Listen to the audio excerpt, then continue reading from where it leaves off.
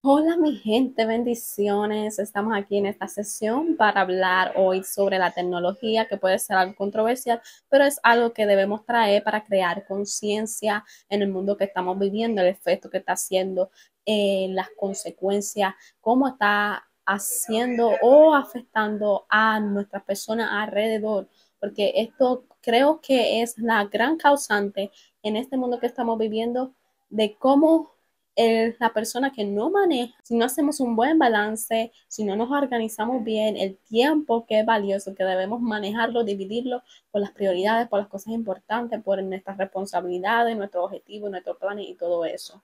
Pero vamos a tocar cómo está afectando. Y ustedes van a ver que en realidad ustedes van a reflexionar de que, wow, yo no había visto eso de esa manera. Eso es lo que vamos a traer hoy para reflexionar. Eh, algo que a mí siempre me ha llamado la atención es cómo ha cambiado el mundo ahora con la tecnología. Claro, la tecnología es buena, como me están viendo ustedes, por, me están viendo por la tecnología, por las redes sociales, pero debemos hacer un buen uso de las redes sociales, llevar el mensaje de Dios a toda nación, porque eso llega a todo lugar y eso es una bendición. que nos da el privilegio de tener un teléfono, una computadora, unas redes sociales para impartir esa palabra, un mensaje, una reflexión o tu proyecto, este, tu negocio, todas esas cosas son chéveres. Malo es cuando tú te desgastas y consumes demasiado de tiempo en cosas que no valen la pena. ¿Cómo así? Que no son cosas que te van a bendecir o te, o te están generando frutos, ya sea de que nada más tú ves contenido, sí, el contenido es bueno, pero hay más que manejar cuántas horas estamos ahí en ese teléfono. Porque a veces nos damos cuenta, porque a mí me ha pasado y yo digo, wow, y yo reflexiono de que yo digo, porque uno está tanto tiempo en un teléfono y nada más pueden pasar cuatro horas, literalmente un día, y no hiciste literalmente nada, nada proactivo, nada que te genere fruto o algo que sea que tú tuviste en acción, que estuviste haciendo algo, solamente perdiste el tiempo así fue viendo nada, haciendo nada, nada. So que es cuestión de uno balancearse de las cosas, sí, uno puede estar ahí un ratito y eso, pero a lo que vengo es que yo he visto como el tiempo de antes, para ponerlo así en tiempo reflexionativo y hacer comparación para que podamos entender mejor. En los tiempos de antes no había nada de eso y se gozaba mucho más, se compartía mucho más porque había reuniones familiares, la niñez era mejor porque se, se, pasaba con cualquier cosita y eso era lo más divertido, que si con una piedra, que si nosotros usábamos canicas, un montón de cosas para entretenernos, cuica y cosas así, jugar diferente con la mano, cosas así, y se vivía la vida feliz y se compartía con los demás feliz. Y no había ese cambio ahora, como que ahora los devices, todo eso que tiene que ver con tecnología, está como que apartando a la generación, está frizando también a la generación porque nada más andan pegados. Es como que andan pegados. En vez de uno tener el control sobre ese device, sobre las redes sociales, nos está controlando nosotros en vez de controlarlo nosotros a ellos, aún a los niños, a nuestros hijos, esas cosas. Y uno se queda, wow, ¿cómo es posible que los tipos de antes se, en ciertos aspectos se vivía mejor y se disfrutaba mejor? Porque es como que ahora se ha perdido el valorar el tiempo, el valorar a esa persona, el valorar ese niño, el valorar ese esposo, esa esposa, y no realizan, no ven. Y entonces, pues eso es algo que llama mi atención y a veces duele y es muy triste ver esas cosas, porque no es que no lo puedes usar, porque obviamente tú lo puedes usar, pero es algo moderado, porque hay muchas cosas allá afuera que son más importantes que, que se ve todos esos casos y es triste como no realizamos que algo anda mal o que cuando nos damos cuenta es muy tarde ya para que se pueda ver una solución o para que se pueda arreglar mejor. Entonces, algo que vamos a hablar de cómo afecta. Y cómo afecta es cuando afecta es cuando, mira, literalmente nos levantamos. Y lo primero que hacemos, ¿qué es lo primero que hacemos? Cogemos el teléfono, mi gente, cogemos el teléfono. En vez de coger, porque también afecta nuestra vida espiritual, en vez de coger la Biblia, cogemos el teléfono. Nos quedamos ahí un rato y literalmente pasó el tiempo, eso no fue una hora o más, cuidado. Eso es cuestión de cada cual como lo usa, pero podemos realizar de como, wow, nosotros nos levantamos, lo primero que cogemos es el teléfono, a veces ni se ora, a veces ni se lee la Biblia, nomás seguimos en ese ritmo y no rompemos con ese patrón, seguimos así. Vamos a comer, estamos en el teléfono. Vamos al baño, estamos en el teléfono. Se están bañando, están en el teléfono. Eh, vas a una reunión familiar, está en el teléfono. Vas a un compartir, está en el teléfono. Y uno piensa, eso no es vida, porque si hay tiempo determinado para tú estar así, y más los que trabajan en las redes sociales, que tienen que estar comunicando y eso, pero hay que ver cómo encontrar una, balan una balanza en todo eso, porque eso puede hacer mucho efecto negativo. Eso es algo tan feo y tan triste que si tú tienes que compartir, vamos a suponer, con tus hijos, y tú nada más lo que estás así fuera un parque, o si vas a compartir con tu esposo, con tu esposa, fuiste a un hotel, fuiste a una cita, fuiste a una cena, fuiste a algo que inventaron y nada más que tú estás ahí, ¿cómo tú crees que la otra persona se va a sentir? Se va a sentir feliz porque está tu presencia, tú estás ahí, pero el que está robando tu atención es el teléfono. Y el teléfono se está adueñando de ti, el teléfono está tomando el control de ti y entonces la otra persona se siente como otro mueble más que está ahí puesto o como otro objeto ahí más que está puesto, porque nos estamos enfocando en el consumo de cómo nos está consumiendo hoy en día la red, cómo estamos perdiendo los momentos bonitos, los momentos que se viven felices y no se valoran, no, we don't realize que eso puede hacer tanto efecto en uno y es uno el que tiene que poner su parte. Y lo más peor es que no lo reconocemos, no queremos verlo y siempre decimos, no es porque estamos haciendo esto, hasta excusa se hace. Ay, no, es que mi mamá, yo hablo con mi mamá, es que yo hablo con tal persona, que yo estoy comunicación. Pero no, hay que poner un balance porque realmente la tecnología sí puede ser positiva, ha hecho maravilla, eso sí, porque tiene un propósito, obviamente. Pero también eso ha dañado relaciones con niños, relaciones con familias, relaciones de matrimonio que hasta se han roto por eso, porque prefieren más un teléfono que a una pareja. Y eso es tan triste que debemos reconocer como que reflexionar como cómo es posible que nosotros tengamos una pantalla 24/7 si estamos desde que nos levantamos hasta que nos acostamos, eso no es normal, eso es como ya un tipo de nivel adición, porque hay adición a todo, algo que sea todo el tiempo así, así, así, y nosotros nos damos cuenta que estamos perdiendo los momentos más inolvidables y los momentos mejores y valiosos en nuestra vida con las personas que nos rodean. Y por eso we gotta realize that is very important to us. Just to realize that we gotta value the person that we have. It could be any relationship that you have with someone, but you gotta value the presence. Imagínate que alguien está viajando, una familia, pareja o whatever, vino de otro lugar y viene aquí para compartir momentos especiales, solo esté en el teléfono. ¿Cree que eso es justo? ¿Cree que eso es que está valorando la presencia de la persona, está valorando el tiempo? Es que reflexionar en eso. Por eso hay que ver las consecuencias como todo, todo trae consecuencias, pero es importante de verdad que nosotros veamos en qué estamos flaqueando, en qué estamos tambaleando, porque así como nuestra vida espiritual, uno dice, wow, yo estoy tan descuidado, eso me ha consumido literalmente mi vida espiritual, estoy perdido, estoy ya seco, porque ya eso te consumió, ya eso te robó todo el tiempo.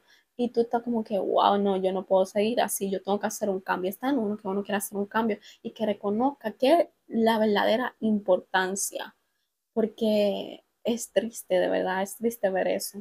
También en nuestra vida personal, también nos puede ah, disminuir en nuestra vida a no crecer, nos quedamos estancados porque seguimos nada más consumiendo, consumiendo, pero no hacemos algo por nosotros. Entonces, lo que debemos es revisarnos y analizar y meditar en eso y reflexionar, porque en realidad es algo muy importante. Porque no sé, no sé si ustedes son así, pero a mí me gusta mucho como que analizar y ver y cosas así y ver la perspectiva también.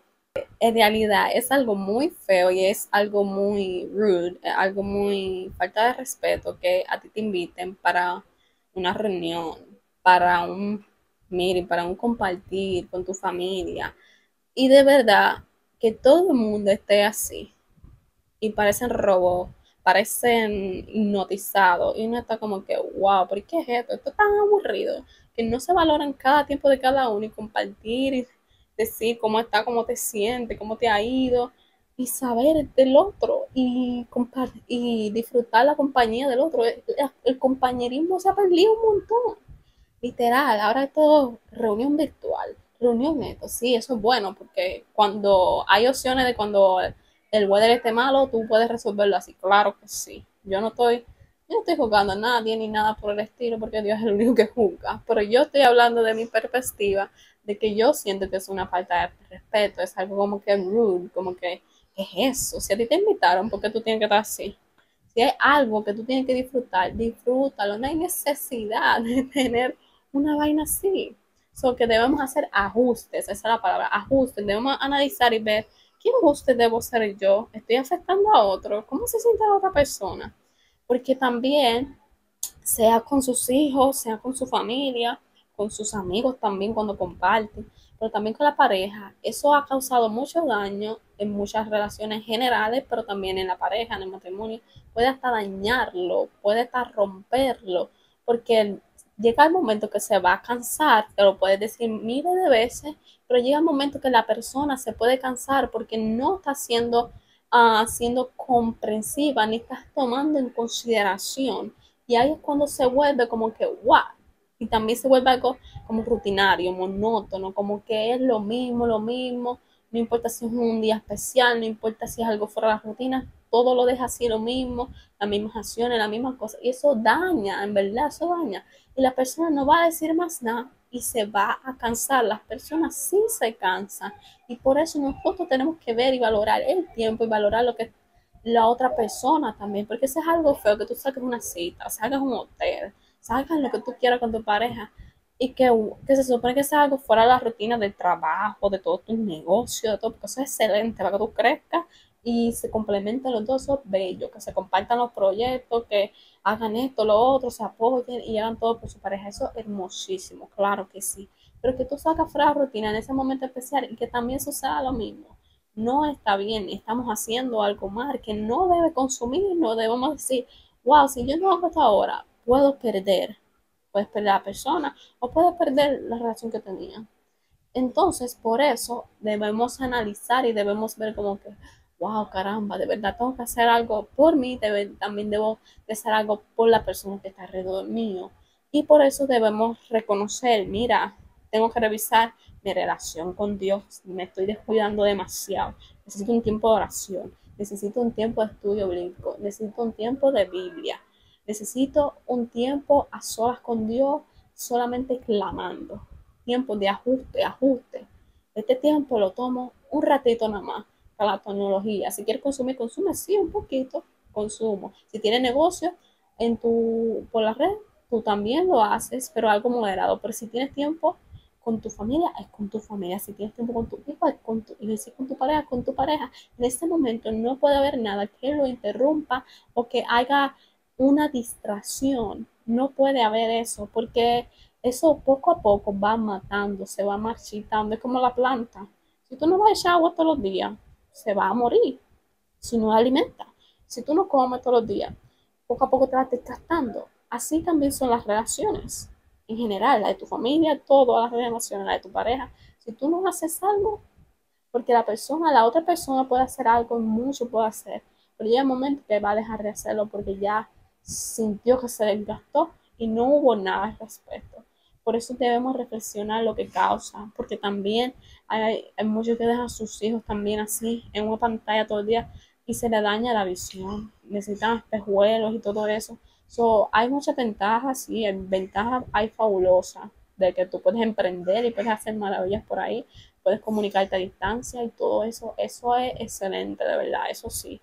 Pero las desventajas hay que ver cómo de verdad si nos está controlando fuertemente y no lo estamos realizando. Por eso yo les exhorto a que mediten y you guys realize que está más en este lado y que menos está en este lado, que tiene que estar así, un ajuste de cómo de verdad estás haciendo el uso de la tecnología, cómo tú lo estás manejando, porque en verdad puede ser muy aburrido que te digan a ti, loco, para ponerlo así como nosotros loco, tú vas a invitarla aquí para que venga conmigo a pasar este día entero, vamos por una playa y tú te pases todo el día en eso. No, mi gente, no, tenemos que romper con eso, tenemos que deshacer esas cosas, porque eso es algo muy aburrido y algo muy falta de respeto también, que, que simplemente de hecho que yo te estoy hablando, te estoy pidiendo una opinión, te estoy haciendo preguntas y tú, la pared me escucha más, me presta más atención. So, eh, de verdad, vamos a analizar, vamos a orar, vamos a hacer un cambio que sea positivamente, que sea para nosotros. Nosotros podemos hasta invertir tiempo en nosotros mismos, hacer un skincare routine y para el gym y cosas así, cosas diferentes, que no nos quedemos pegados 24/7 o quedamos un rato para que ustedes puedan seguir hacia adelante y puedan ver fruto, porque lo que se siembra se cosecha y también ve ese reflejo en los demás, porque a veces somos reflejos en otras personas y de lo que recibes tú tienes que ver si es lo que tú mismo estás dando porque somos reflejos. Y si no te está gustando algo que tú estás recibiendo o que tú estás viendo, tú tienes que revisarte tú mismo qué es lo que yo estoy haciendo, porque esto no era así, porque veo acciones que han cambiado. So, es bueno meditar en eso, pidan sabiduría también, porque sabiamente no estamos para pelear, no estamos para discutir, porque eso no va a hacer nada ni va a resolver nada. Pero es bueno siempre comuníquese, revísese, mediten y vean que es bueno estar presente. Esa es la palabra, es bueno estar presente, es bueno estar ahí, disfrutar al máximo el momento. Aunque piensen en el futuro, pero recuerden que el momento es ahora, porque uno sabe de hoy, pero no sabe de mañana, solo Dios lo conoce todo. Y por eso debemos conocer que lo demás vendrá por añadidura, como dice la palabra de Dios, para, para que ustedes reflexionen en esto verdaderamente. Que hay que hacer cambios necesarios en nuestra vida y ajustes en nuestra vida y valorar lo que tenemos al lado. En cómo, ah, cómo esta generación ha sido consumida, pero muy, muy, muy, muy consumida. Pero nosotros podemos hacer el cambio a eso a un giro de 360 positivamente, porque si nosotros no hay límite para nada, no hay um, como que una X, una tela que te esté aguantando de que no puede hacerlo. Está en uno que lo puede hacer. Y lo primero es reconocerlo, ver en qué es lo que se falló y hacer una renovación, hacer un cambio por eso y ser una mejoría para que vea que los frutos sí valen la pena y que todas esas cosas son necesarias en nuestra vida y que los tiempos bonitos se tienen que guardar aquí y compartir a todo. Así que mi gente, espero que hayan reflexionado en este tipo de estilo podcast, se podría decir, de este tema que puede ser controversial. Si usted tiene otro tema que le gustaría este, que hablara o que diera mi opinión, porque yo hablo de mi perspectiva, hablo de mi opinión, de experiencias, de lo que pienso. No nada de que, mira, tú no eres trabajador social, tú no eres esto. No, yo hablo de mi opinión y porque yo siento que yo puedo dar un consejo a la generación de hoy en día para ayudarlos, para que eso nos hace mejor persona. Uno también aprende de nuestros errores, pero es muy importante reconocer, porque cuando una persona no reconoce, es muy difícil que haya un cambio, es muy difícil que sienta que la otra persona este, tiene que ver qué es lo que está pasando. Es muy difícil cuando no se reconoce, el orgullo te mató. por eso hay que romper con todo esos yugos, con todas esas cosas malas, con esas cosas que no es algo que nos nutre, que es algo que no está haciendo un efecto positivo. So, sean grandes, sean emprendedores, sí, excelente, pero también valoren a su familia y a sus personas que tienen al lado y compartan a todo dar porque eso es la bendición que Dios nos ha dado. Así que si tienen sugerencias, si tienen alguna cosa, déjenlo en los comentarios. Denle like, síganos hacia adelante, no se rindan y bendiciones.